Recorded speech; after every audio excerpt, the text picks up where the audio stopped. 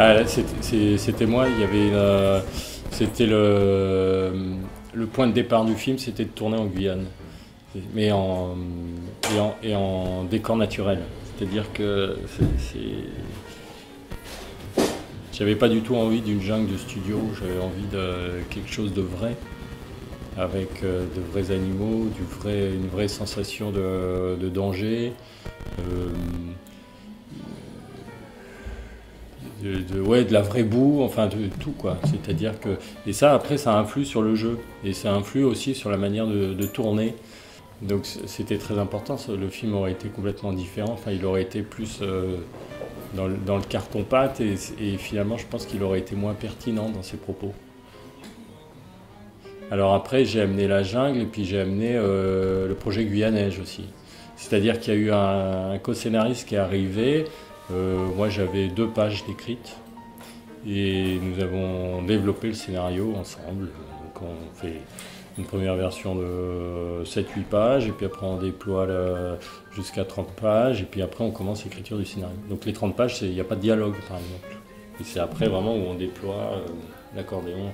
L'erreur, c'est souvent c'est de commencer par les dialogues, parce que c'est ce qui paraît le plus simple euh, finalement, et puis on écrit des dialogues, on écrit des dialogues, puis à la fin pas d'histoire, que, du dialogue.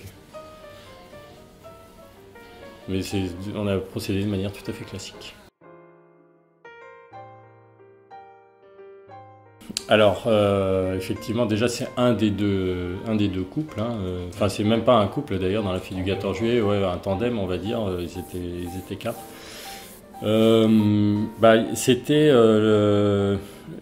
j'avais envie de pousser le jeu un peu plus loin que ce que, ce que j'avais fait auparavant. C'est toujours un peu comme ça, c'est-à-dire qu'on on rencontre des comédiens ou même des techniciens, et puis on travaille ensemble, et puis parfois à la fin du film, à la fin du tournage, on s'aperçoit, il y a des regrets de ah bah, si j'avais su, j'aurais poussé ça un peu plus loin le jeu, ou j'aurais fait plus de mouvements de caméra, voilà, des choses comme ça.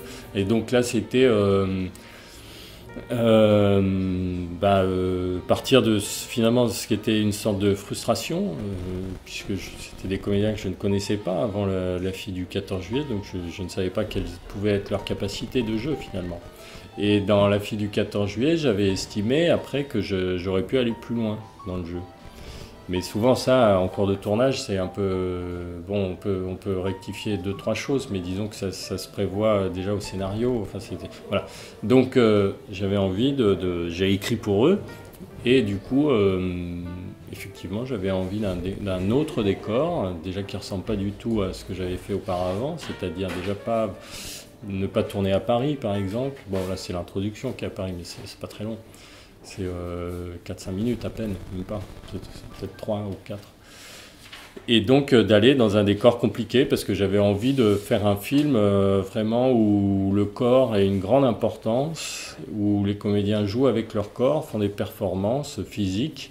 Et donc voilà, bon bah après je trouve que la jungle est, assez fascinante et elle, a cette particulier, c'est que elle permet de faire plein d'allégories donc, euh, par exemple, je sais pas moi, euh, comme il y a des expressions déjà toutes faites euh, avec la jungle, je sais pas, la jungle administrative, par exemple, ou la, jungle. voilà, ben là, ça, ça y fait pas du tout référence, mais en tout cas. Enfin, c'est des, des, comment, c'est des allégories qui, sont euh, symboliques. Voilà. C'est la jungle de Calais, c'est pas, c'est pas, c'est pas symbolique, c'est, vraiment la jungle. Alors que euh, jungle administrative, on imagine euh, des paperasses, des choses comme ça. Une jungle des carrières, on imagine qu'il y a plein de gens qui veulent faire carrière dans un domaine, des choses comme ça. Donc voilà, ce, décor a cette particulier, c'est que très vite on peut ça peut déclencher un vagabondage de l'imagination. Et du reste, par exemple, quand le personnage de Bido, il dit au ministère aussi, c'est la jungle. Ça, ça vient d'une phrase que j'avais vue, je crois c'est Valérie Pécresse qui avait dit ça, que les ministères étaient des, oui, une sorte de jungle où euh, euh, l'enchevêtrement des intérêts brouillait tout horizon. Et donc, euh, on ne savait plus qui et pourquoi étaient prises les pour qui et pourquoi étaient prises les, les décisions. Et parfois, on tire une décision et puis on s'aperçoit qu'en fait, il y a un intérêt complètement différent Effectivement, parce qu'il y a des choses qui sont à la fois symboliques dans le film et puis à la fois des choses qui sont actuelles. Par exemple, euh, justement, quand on voit les portraits de Mitterrand ou de Chirac en fonction de la personne euh, qui est dans le bureau, euh, ça montre que une personne chasse l'autre, mais en fait c'est les mêmes. C'est-à-dire que ça fait, on, voit du coup, grâce aux photos, on se dit ah bah tiens, lui ça fait 30 ans qu'il est là, ou qu'il est dans les murs. Enfin, voilà, il rôde un peu. Ah tac, il y en a un qui est plus là. Allez, je prends sa place. C'est un peu ça aussi la loi de la jungle. C'est un peu la loi du plus fort. Mais la loi du plus fort, ça ne veut pas dire, euh, quand je dis plus fort, ça veut dire à un moment donné précis. Ça veut dire que euh, euh, il y a un vide, la personne s'est fait dégommer, hop, c'est tout de suite quelqu'un d'autre qui arrive. Mais qui, et, ça, pour moi, ça, c'est la jungle. C'est-à-dire que la jungle, il y a des arbres qui poussent comme ça, on voit plus le ciel. Et puis il y a d'autres petits arbres qui attendent en fait. Ils ont poussé, mais la pousse s'arrête. Et puis quand les gros arbres euh, tombent ou meurent, ça fait un trou euh, de lumière et ceux qui s'étaient arrêtés de pousser, ça y est, ils commencent. Et, donc pour moi, c'est exactement ça euh, ce qui se passe dans les ministères. Après, c'était quoi les autres? Ah oui, la carte coloniale, effectivement, pour moi, c'est, ça montre aussi, bon déjà ça place le film sur où est-ce qu'on va aller dans le film, c'est-à-dire euh, d'un point de vue euh, territorial. Déjà, on, montre euh, la Guyane, mais effectivement, j'aurais pu prendre une carte très moderne. Mais ce qui m'intéressait dans, cette vieille carte, c'était de montrer justement la vieille France avec une puissance un peu déchue, une puissance coloniale déchue. C'est d'ailleurs pour ça, vous remarquerez que les, drapeaux, on les, on les, on les descend pas. Mmh. C'est toujours parce qu'aux États-Unis, par exemple, tous les, tous les soirs, il y a la descente des drapeaux et le matin, on monte les drapeaux. En France, on le fait pas. Voilà. C'est expliqué euh, dans le film. Et donc, euh, enfin, la raison. Et, euh, et ce qui m'intéressait aussi, par exemple, dans le personnage de Rosio, et ça, ça fait référence à la, à la carte, c'est que c'est donc c'est un énarque. Enfin, on suppose que c'est un énarque. En tout cas, c'est quelqu'un de qui, du coup, est assez haut placé là dans, dans dans les, dans les, prises de décision. C'est pas un élu. Hein. Euh, et, donc, euh, c'est à la fois, il y a un côté, moi, ce qui, me fascine euh, chez, ces gens-là, c'est à la fois une, image de la grandeur de la France, où on a l'impression que pour eux, c'est quelque chose voilà, qui n'a pas à être galvaudé, c'est quelque chose de très important, et en même temps, il y a euh, cette idée euh, du, du, je m'en foutisme total. C'est-à-dire que euh, presque dans, dans, le, dans la même phrase, euh, ils vont vous dire la grandeur de la France, et puis juste après, oui, bon, bah ça, on s'en fout, l'économie, euh, ça passera après, ou j'en sais rien. Et donc, par exemple, ils veulent relancer. Et, c'est pour ça qu'il sort aussi des phrases euh, qu'on entend très souvent à la radio ou à la télé de, ministres qui disent qu'il faut siffler la fin de la récréation. Des phrases comme ça, où nous sommes le dernier de la classe, il y en a marre. voilà. En plus, c'est à chaque fois, enfin, c'est très souvent quand même des images. Euh, scolaire. Donc ça veut dire que quelque part, ils se placent euh, un peu au-dessus, puisqu'ils se, prennent un peu pour le, pour le professeur, et, donc ils infantilisent un peu les gens. Et donc, euh, voilà, c'est pour ça qu'il y, a aussi cette, carte de, vieille France, c'est-à-dire que je voulais montrer qu'il avait quand même une image de la grandeur de la France, que pour lui, ça lui, ça lui semble important. Et puis en même temps, bon, à la fin, c'est plus lui, mais enfin, c'est quand même le même. Euh, où il dit non, non, on s'en fout, euh, on va faire la mine d'or à la place. Voilà. Donc ça, ça, ça m'intéressait. Oui, oui, mais c'est l'image. Euh, en fait, ça vient de l'image. Euh, donc je tourne en légère accéléré. Et donc le son, forcément, voilà. Alors, on aurait pu le corriger. Ça se corrige, hein, c'est pas très compliqué. Euh, en mixage, on peut, on peut corriger la tonalité des, des phrases. on l'a fait, on l'a essayé. on l'a fait pour certains personnages, pour d'autres, on l'a pas fait. il se trouve que quand on le corrige totalement, on perd cet effet d'accélération et on le perd complètement. On, a l'impression que c'est euh, tout à fait normal. Donc euh, ça m'ennuyait un peu. Euh, d'autre part, on perdait aussi un effet comique. donc voilà, bah, j'ai décidé de le laisser. Alors après, il y, a des personnages pour lesquels ça s'entend plus que d'autres. Les personnages, les, comédiens connus, comme Légitimus ou Amalric ou même Jean-Luc Bidot, ça se ça s'entend parce qu'on a l'habitude d'entendre leur voix. Pour les gens qui sont moins connus, ça ne s'entend pas. Donc euh, c'est un peu au cas par cas. Et puis après, c'est au cas par cas euh, en tournage. C'est-à-dire qu'il y a des plans qui sont plus ou moins accélérés, euh, ça dépend. En général, plus on va vers le gros plan, moins c'est, plus on tourne à 24 images secondes, et puis plus on va en plan large, plus on accélère, parce qu'il y a une autre inertie. Et donc ça, c'est évidemment pour gagner en rythme. Euh, pour économiser euh, aussi des, temps morts euh, de jeu et oui, pour déréaliser finalement le, le jeu. Quoi. Non, parce que c'est vrai que les, les, les tandems comiques, enfin burlesques, c'est surtout en général des tandems hommes. C'est pas des couples. Donc, euh, mais même euh, du reste, euh, même si c'est pas des tandems, si c'est une seule personne, même pour les, pour les femmes, il y en a, y en a très peu. Il y, a des, y il y a des actrices comiques en France comme, je sais pas, Balasco, même Catherine Fro, d'une certaine manière mais c'est essentiellement basé sur le, dialogue, euh, sur une manière d'être.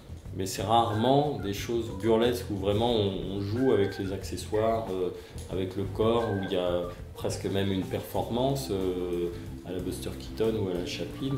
Ça c'est extrêmement rare. Enfin, à ma connaissance, ça n'existe pas en France.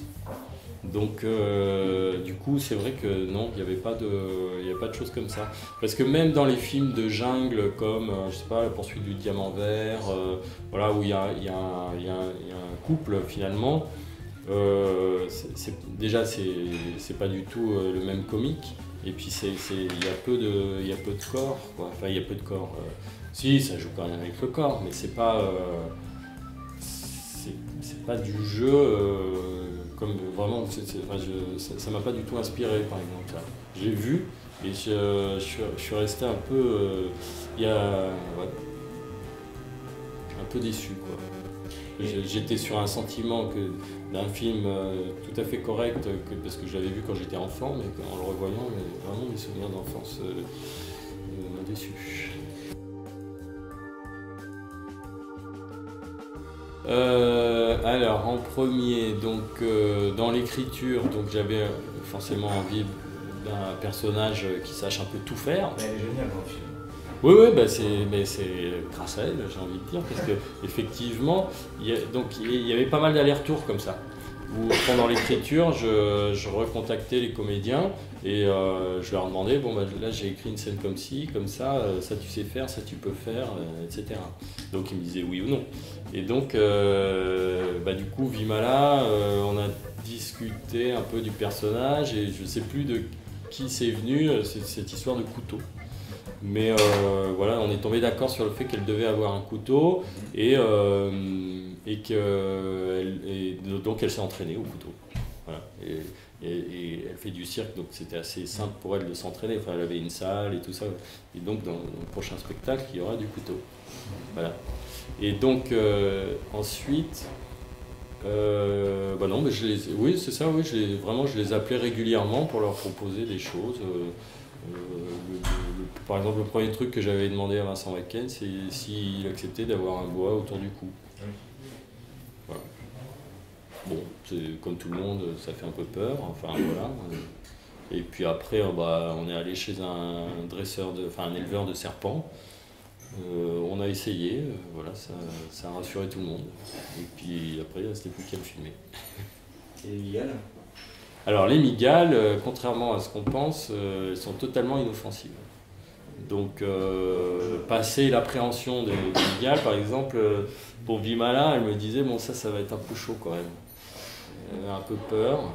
Euh, donc, après, il y avait, on avait notre chef décorateur qui, est entomologiste et puis aussi qui connaît beaucoup, extrêmement bien les araignées. Donc, bah, il avait capturé quelques araignées comme ça dans, la forêt ou dans son jardin. Et puis, bah, on avait fait des, des exercices, quoi. C'est-à-dire, il l'a posé sur, euh, d'abord sur sa jambe, puis après sur son bras, parce que, effectivement, au, départ, euh, j'osais vraiment pas toucher euh, ces bébêtes.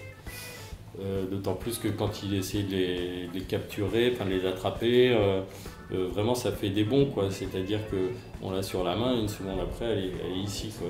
Et après, après elle descend, enfin bref c'est quelque chose. Et puis euh, passer la, première crainte, euh, les premières appréhensions, après, euh, voilà, c'est pas dangereux. Il y en a qui sont dangereuses, hein, attention, hein. mais celles-ci ne sont pas dangereuses. Voilà, pour l'homme en tout cas.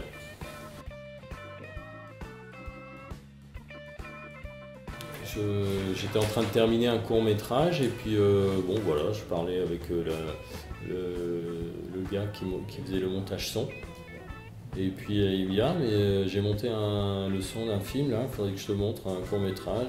Donc je lui dis Oui, mais il faut qu'elle soit comme ça. Hein. Oui, oui, oui, oui, mais justement. Non, mais et puis il faut qu'elle puisse faire ça. Hein. Oui, oui, oui, non, mais justement, je pense que c'est la bonne personne. Alors euh, j'étais un peu. Bon, ok, on va voir. Et donc il m'a montré le, il montré le film, qui n'avait pas grand chose à voir, qui était un film de Baya Kasmi, justement, elle a joué dans le Baya Kasmi, donc c'était le les prémices de son film. Et euh, effectivement, voilà, bon, après on s'est rencontrés, et puis euh, je lui ai montré mes films, j'ai fait un scénario, puis elle a dit ok. et pour euh, c'était un peu la même chose. Je l'avais vu dans un court métrage euh, de, quelqu'un qui va bientôt sortir son premier long qui s'appelle Guilhem Amélan. Et donc c'était juste avant que Guillaume Braque fasse son moyen métrage. Et pareil, j'ai ah tiens, il a l'air bien cet acteur. Et puis euh, voilà, on s'est rencontrés et puis il a dit ok. Non, en général, les comédiens, je ne les connais pas avant. Enfin, il y en avait quelques-uns dans la, dans la fille du 14 juillet, mais euh, euh, c'était, je les avais rencontrés sur mes courts-métrages. Donc, comme la fille du 14 juillet était un peu l'aboutissement de plusieurs courts-métrages, du coup, de manière assez naturelle, je, je l'ai ou je les ai repris dans, dans le long par exemple.